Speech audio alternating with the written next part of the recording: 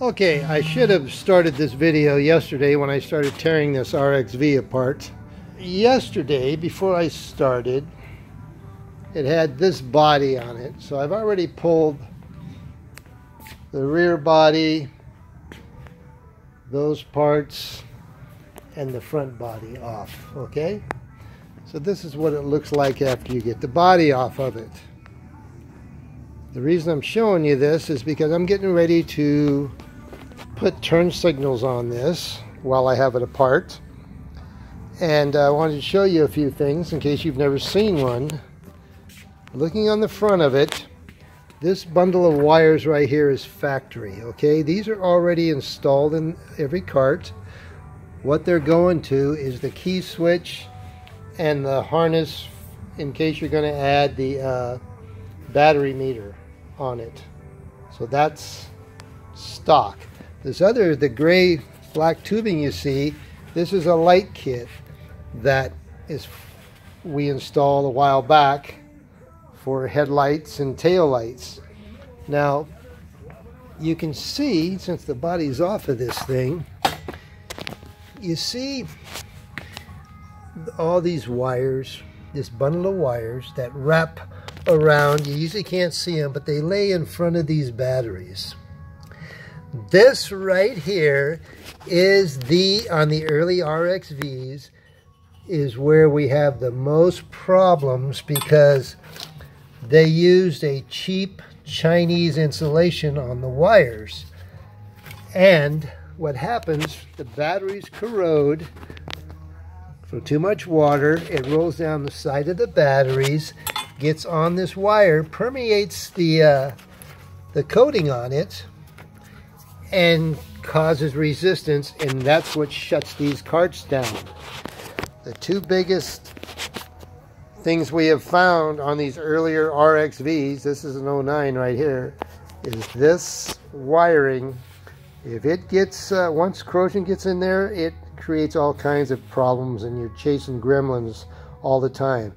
The other thing is if you have one of these, something you might want to check, because almost every one we see you see the three phase wires that go to the motor. They're in this harness right here. Well, they never tie them up. Let me see if you can see. And right here, almost everyone I see rub, they rub a hole in this harness and eventually, let me get on the other side and see if we can see. Yeah, see, see where it rubs a hole in this and usually starts on the insulation of the wire. And matter of fact, you can see where it's already been rubbing on the metal here. And it's raw metal. And pretty soon, this cuts into here and takes out your controller. But the way they do this at the factory, it's always laying right up against this piece of metal. So take and tie wrap this thing over against, away from here. Get it over here. You're asking for trouble if you don't do that. So I wanted to show you that. And the other thing I wanted to show you was where these wires, as a the bundle, they go underneath the floor. Actually, let me lift it up. Up the floor mat, see? And there's a groove in there. There's a trap door down there. And the other end of these come out up underneath this um, console. Um, I have to take this off. I have to take the floor mat out to show you, but I just wanted to uh, show you this wiring. Now to get this console off, you need a long 10 millimeter socket. You see these three indents for balls, one, two, and this one. Right underneath there is a 10 millimeter nut. Well it's a nut that takes a 10 millimeter socket. Just hand tight. There it is. That's what it looks like. You take that one off you reach under you take this one off. Trying to hold the camera and be a left-hand mechanic sucks okay there's that one and there's going to be one more behind here that's how you get access because you need to get this console off so I can fish the wire. So there's the three nuts I took off. And this thing, after you get those off, just pulls up. Let me see if I can do it without spilling all these bolts and stuff I got. See how this just popped up loose right there? Now this side's going to pop up loose. There we go. See what it looks like? And we're going to take this completely out. Show you what it looks like out. This is where it was. Now these wires, see where the wires are coming up out of the floor through this rabbit hole right here. So this connector right here is your run plug. Let me get underneath there. This is the other end of it. That's your, your cart will not run if that is not plugged in. A lot of problems sometimes can be solved by checking that run plug. Okay? Okay, I'm getting ready to pull the floor mat up there's about seven of these uh, Christmas tree fasteners. There's a couple of them down between the pedals. See them there. They're up there. One there. So I need to pull those out to get the floor mat up. Um, this is a tool I'm going to use to do it. It's a simple little pry bar. We got a better uh, door panel remover that works, but uh, it's not here right now. So I'm going to pop these off with this. And matter of fact, let me see if I can do one left-handed and show you. See how it just goes underneath there? And I just wiggle it.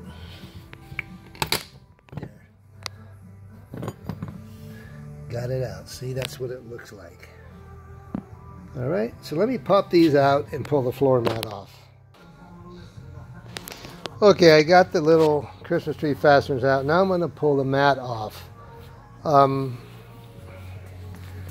I wanted to show you the way the cutouts are. We're going to be able to pull this mat up and get it up and over. Oh, We're going to be able to get it up and over the brake pedal.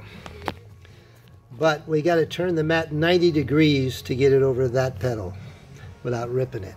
So let me see if I can do that. Okay, I got the mat off. See what it looks like? Now, we need to get that panel off right there. You can see there's four Christmas tree fasteners on that also. One, two, three, one over there. So we're going to undo that. There's a little rubber collar around this. Usually it's stapled here I break the staples loose, turn this thing sideways so you can get it off.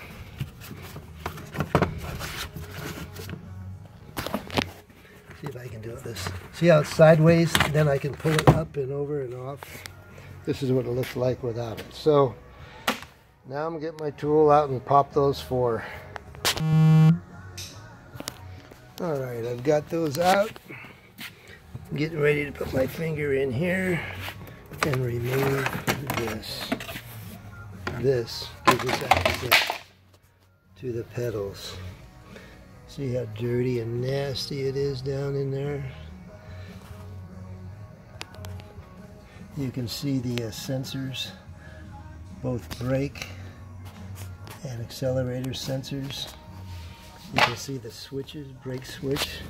There's one down there for the accelerator. Anyway, you need to clean that out once in a while because it gets all the dirt and debris and sand in there. And sometimes it doesn't allow your pedals to come all the way back, which causes all kinds of issues. Okay, this is our um, light kit, deluxe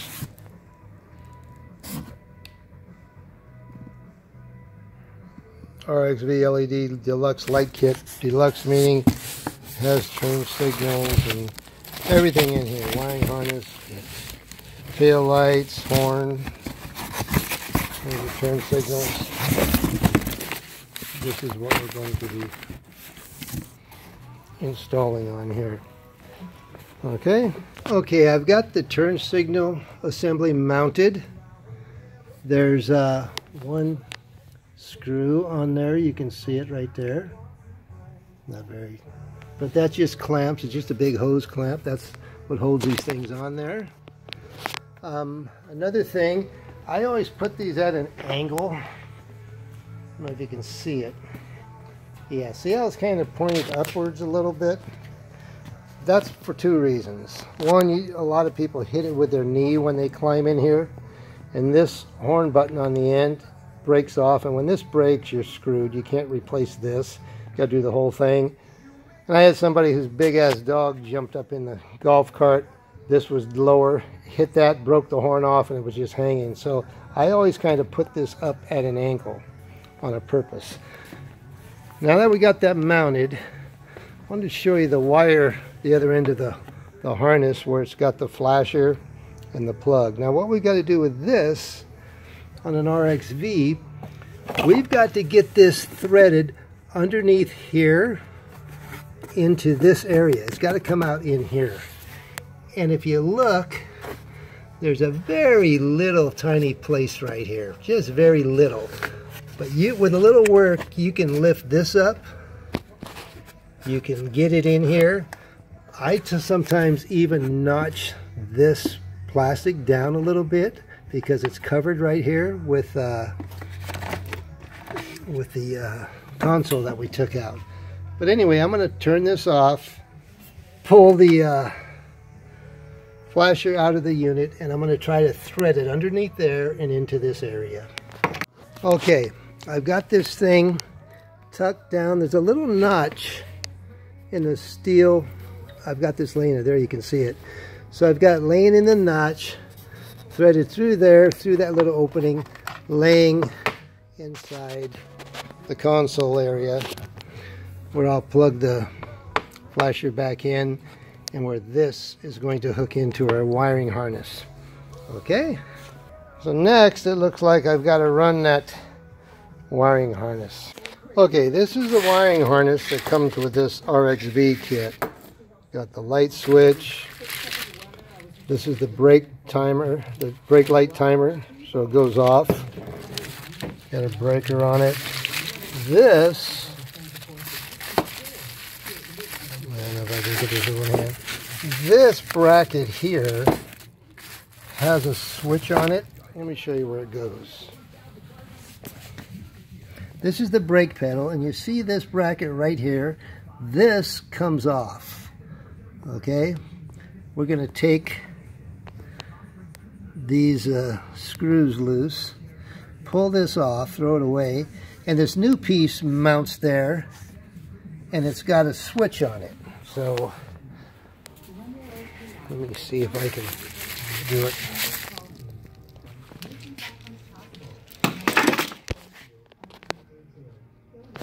Okay, I opened up this, where is it now?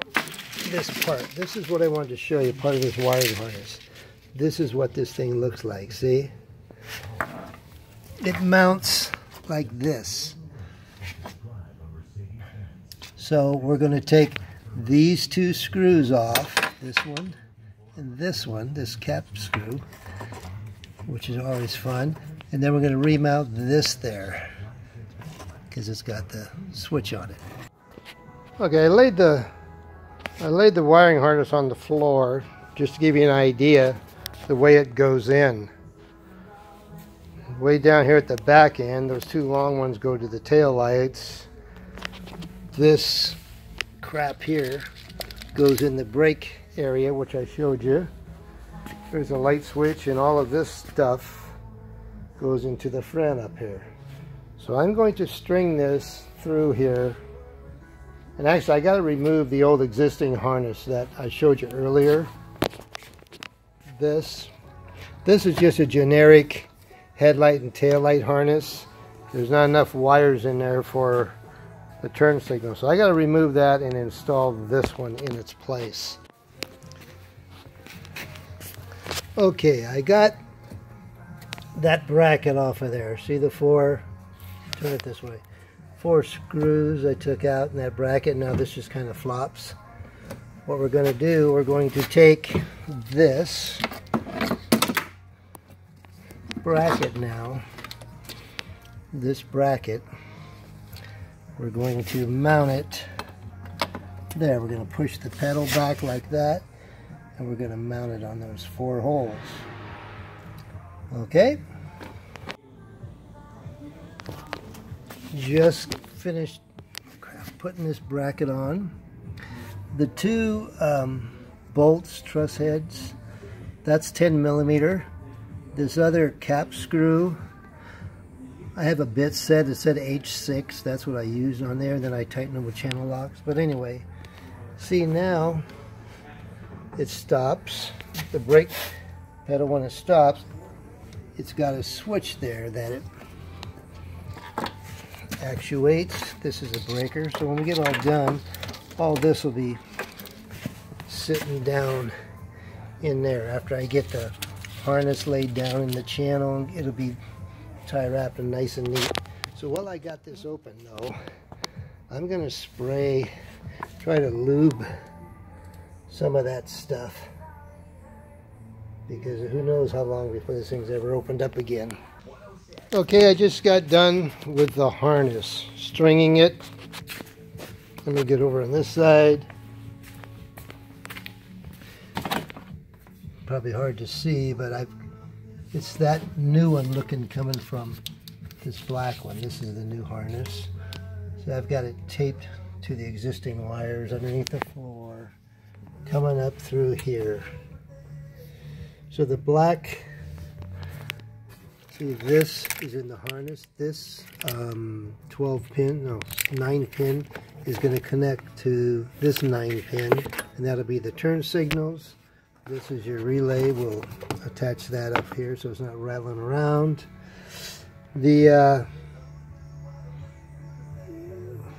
I put a new battery gauge in while I had this. This is not a factory RXV battery gauge those are not that accurate. This one, I'm hardwiring all the way back um, around the controller. So that's what you see, these three wires here, the yellow, black, and orange. The black is my ground, which will be going to my 48 volt battery ground. The, uh, crap, I forgot already, let's look. Okay, the yellow is the uh, 48 volt hot. The orange is going to be the keyed, the keyed um, wire. So on an RXV, my ground will be going to the main battery negative. Over here, you attach to the solenoid, not to anything else on an RXV. Okay? So I will be landing my two wires on these two big solenoid wires. The, uh, the one that comes straight from the batteries, the main positive, which I have disconnected, which is right here, is 48 volts. The other side, when it's switched on, this is where I'll be attaching to. Okay? So anyway, uh, I went ahead and strung the tail light whips therein.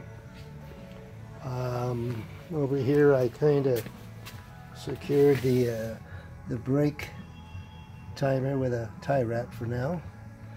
And we still have our main wires 12 volts laying here. Now you can most people mount those. I shouldn't say most people. A lot of people mount them to this battery because that's where they are. They get their 12 volts off of here. That is not the best thing to do because that battery then is getting used more than the other three and there's a good possibility that that battery is going to fail before the other three do. So the best thing you can do is wire that through a voltage reducer, a 48 to 12 volt voltage reducer, which we probably will do. So just wanted to lay that out there. It will work on the one battery. It's just not the best thing, especially on this uh, computerized wiring system.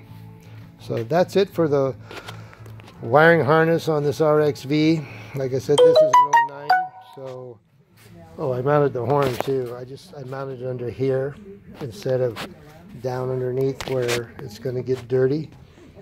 And uh, that's it for now. Go ahead and contact us and hopefully subscribe to our channel because we're planning on throwing a lot of videos out there, um, mainly just to help do-it-yourselfers. Because I learned pretty much I, everything I had on the learned on the internet, so hopefully I can help you.